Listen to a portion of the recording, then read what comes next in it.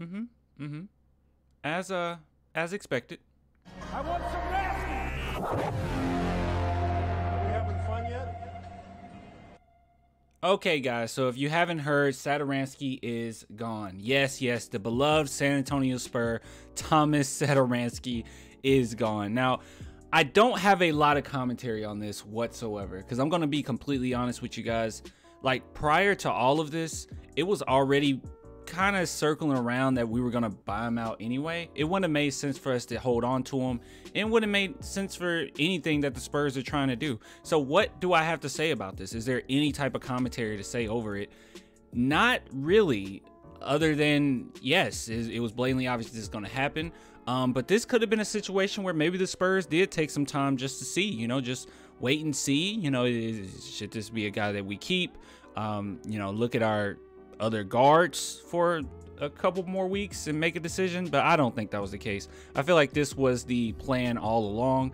And similar to the Dragic situation, I didn't make a video on when we bought out Dragic because I said it when we traded him that we were going to buy him out. So it was very obvious that he wasn't going to stay here anyway. So that was like basically not news. But Satoransky was a guy that quite a few fans, you know, scratch their heads on like, well, do we keep him? Are we going to keep him? You know, what what does the future for the Spurs look like? And even when you guys asked, I think it was on a couple Sundays with clans, like before, maybe a couple weeks ago, in which one of the questions was who do you keep and, and who do you uh, get rid of? I think it was on, you know, I, I forget. My brain is my brain is broken, but I, I, I don't know. One of you guys asked me that, and I basically said, oh yeah, Satoransky's gone. Like I would get rid of him in a heartbeat.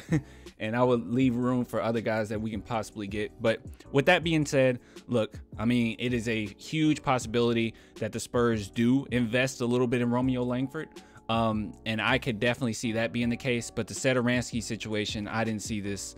I, I, I mean, I, I kind of saw this saw this coming. Now, I don't have a lot of commentary, and usually videos aren't this short, and I don't want to really cheat you guys out of content.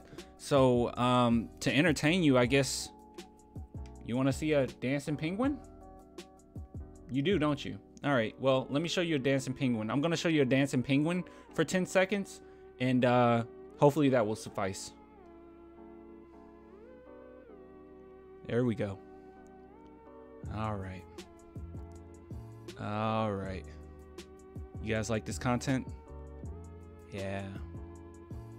Yeah, there's some real good content right here. Mm-hmm. All right. You don't feel cheated at all, do you? All right. Okay. All right. I hope that made your day. I'll get with you guys later, man. Until next time.